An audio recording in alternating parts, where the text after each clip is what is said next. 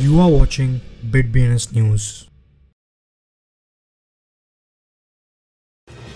শুভেচ্ছা এবং স্বাগতম সবাইকে বিট বিএনএস নিউজে বর্তমানে অস্থিতিশীল এই ক্রিপ্টো বিশ্বে প্রতিনিয়ত কি ঘটছে তা জানা ব্যবহারকারীদের জন্য খুবই গুরুত্বপূর্ণ। তাই নিশ্চিত করুন আপনি প্রতিদিন ক্রিপ্টো নিউজ দেখছেন এবং নিজেকে আপডেটেড রাখছেন। জানিয়ে দিচ্ছি ক্রিপ্টো জগতের আজকের সংবাদের শিরোনামগুলো। কল সেন্টার ক্রিপ্টো জালিয়াতিতে অর্ধ মিলিয়ন ডলার হারালেন বুলগেরিয়ান ব্যবসায়ী। কর মৌসুমের জন্য ক্রিপ্টো ব্যবহারকারীদের প্রস্তুত করতে চালু করা হলো বাইন্যান্স ট্যাক্স ক্রিপ্টো ফার্মগুলিকে অননুমোদিত বিজ্ঞাপনের জন্য সতর্ক করল যুক্তরাজ্যের ফাইন্যান্সিয়াল রেগুলেটর মদের বোতলের সাথে যুক্ত এনএফটি উন্মোচন করল চাইনিজ পানীয় দ্রব্য প্রস্তুতকারক কোম্পানি মৌটাই নিরাপত্তা টোকেন সম্পর্কিত নির্দেশিকা প্রদান করল দক্ষিণ কোরিয়ার রেগুলেটর। আবারও বাড়ানো হলো এফটিএক্স জাপানের বিডিংয়ের সময়সীমা। সবচেয়ে বড় জিএমএক্স হোল্ডিংয়ের মালিক হলেন বিটম্যাক্সের সিইও।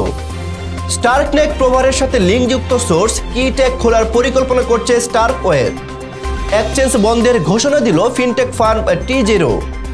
ওরিয়ন প্রোটোকলের পোস্টমর্টেমে প্রকাশ পেল তিন মিলিয়ন ডলার ডিফাই এক্সপ্লয়েটের বিস্তারিত।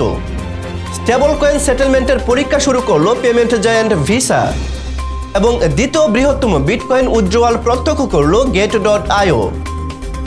শুনছিলেন শিরোনাম, এবার বিস্তারিত। একজন বুলগেরিয়ান বিনিয়োগকারী প্রতারকদের কাছে বিপুল পরিমাণ অর্থ হারিয়েছে। স্ক্যামটি একটি কল সেন্টারের মাধ্যমে পরিচালিত হয়েছিল, যা স্টক এবং ক্রিপ্টো মার্কেটে দ্রুত লাভের প্রতিশ্রুতি দিয়ে ভুক্তভোগীদের কাছ থেকে অর্থ সংগ্রহের একটি প্রতিষ্ঠিত স্কিম হয়ে উঠেছে। কর মৌসুমের জন্য ক্রিপ্টো ব্যবহারকারীদের প্রস্তুত করতে চালু করা হয়েছে বাইন্যান্স ট্যাক্স ঘোষণা অনুযায়ী বাইন্যান্স ট্যাক্স তার ব্যবহারকারীদের একটি ট্যাক্স সামারি রিপোর্ট ডাউনলোডের সুযোগ দেয়, যেখানে তাদের বাইন্যান্স অ্যাকাউন্টে সারা বছরের বিস্তারিত তথ্য অন্তর্ভুক্ত থাকে। এর মধ্যে রয়েছে স্পট ট্রেড ক্রিপ্টো ডোনেশন এবং ব্লকচেন ভিত্তিক ফর্ক পুরস্কার। ক্রিপ্টো কোম্পানিগুলিকে ফাইন্যান্সিয়াল প্রমোশনের উপর আরোপিত নতুন বিধিনিষেধের জন্য প্রস্তুত হওয়ার আহ্বান জানালো যুক্তরাজ্যের ফাইন্যান্সিয়াল রেগুলেটর বিধি লঙ্ঘনের জন্য দুই বছর পর্যন্ত জেল হতে পারে এমন সতর্কতা জারি রেখেছে সংস্থাটি। পানীয় দ্রব্য প্রস্তুতকারক কোম্পানি কুইচাও মোটায় মার্কেট ক্যাপের দিক থেকে একটি বৃহত্তম চীনা কোম্পানি। শনিবার, কোম্পানির নন ফাঞ্জিবল টোকেন বা এনএফটি সংগ্রহ চালু করার ঘোষণা করেছে, যা এর মালিকদের বাস্তব জীবনে সীমিত সংস্করণের নেশাজাত পানীয় কেনার অধিকার প্রদান করবে। দক্ষিণ কোরিয়ার রেগুলেটররা নিরাপত্তা টোকেন সম্পর্কিত নির্দেশিকা প্রকাশ করেছে, যা নির্দিষ্ট করে যে কোন ধরনের ডিজিটাল সম্পদ দেশটির সিকিউরিটি হিসেবে বিবেচিত হবে এবং নিয়ন্ত্রিত হবে।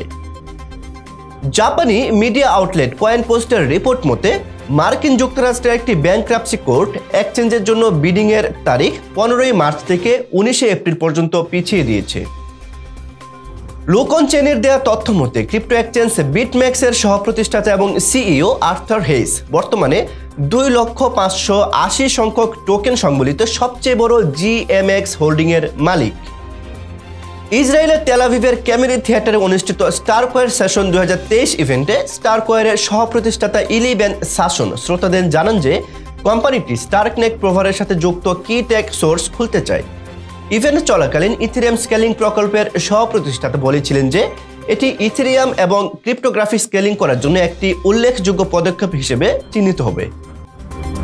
আজ এই পর্যন্তই। নিয়মিত ক্রিপ্টো জগতের সকল সংবাদ এবং আপডেট জানতে আমাদের সাথেই থাকুন। ধন্যবাদ।